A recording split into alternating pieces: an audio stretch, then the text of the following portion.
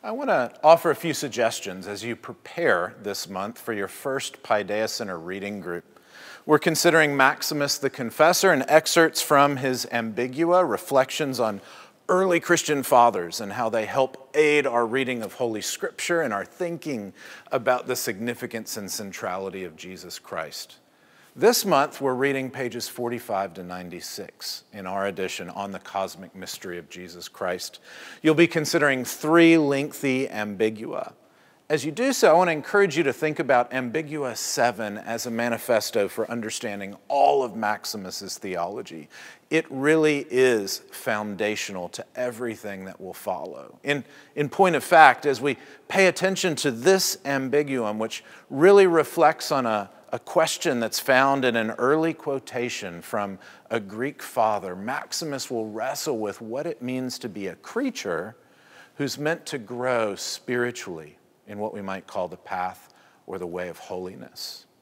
In, in so doing, he's wrestling with those who would seem to suggest that somehow growing in holiness means being or becoming something other than a creature.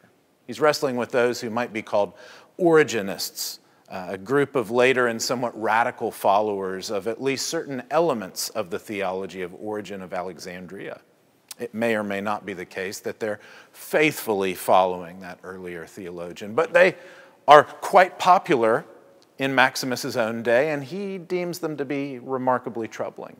He wants to respond to them and argue that we need to understand our creatureliness, that we are not the creator, and Ambiguum 7 helps us understand the way in which we understand our becoming, our being made, and then and only then our being moved by God eventually into a position of spiritual rest or Sabbath, of ultimate peace and calm in God. We aren't those who somehow had that rest and have now moved into a position of becoming, as those Origenists would say. This may sound somewhat esoteric or somewhat philosophical, but Maximus is really trying to help wrestle with the way in which holiness is for creatures. And that's going to have significance as you read on into Ambigua 8 and 42, where he's going to apply it to humans and to Jesus Christ, respectively. He's going to talk about what's involved in being human and growing and experiencing passion and suffering and change and all manner of human finite circumstance. And then he's going to reflect on Jesus, the way in which he actually assumes our finite humanity. He actually bears this human experience that he might transform it. Maximus is going to argue that by becoming creaturely and assuming this creaturely frame, Christ is able to give it true holiness, to transfigure and transform it that we might in and through him experience it as holy. Eventually, that we might experience it as restful, marked by Sabbath rest in God above. In our own day, we continue to wrestle with questions of spirituality and of holiness. What it involves. Does it involve somehow uh, sort of limiting our humanity, our finitude, our embodiment?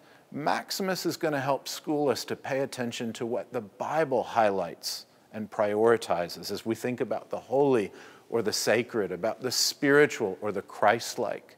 He's going to remind us a truth that, that we could find if we paid attention to Augustine, to Calvin or Luther the, the idea that being holy doesn't mean being any less creaturely. It simply means becoming Christ like by being united to Him and being transformed in and through Him as His grace has made possible. Indeed, as His grace and resurrection have made actual and real.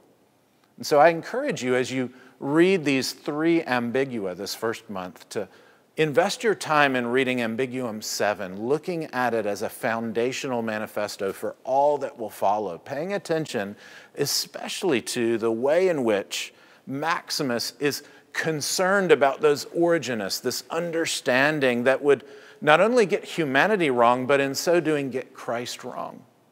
And then pay attention, be watchful for the way in which he wants to describe our experience of becoming, of motion, and of rest in a way that helps us understand ourselves as creatures of God and eventually as those united to Christ with much hope. I look forward to hearing of how your discussions go as we seek to learn more from Maximus and with one another. Thanks for being along for the journey.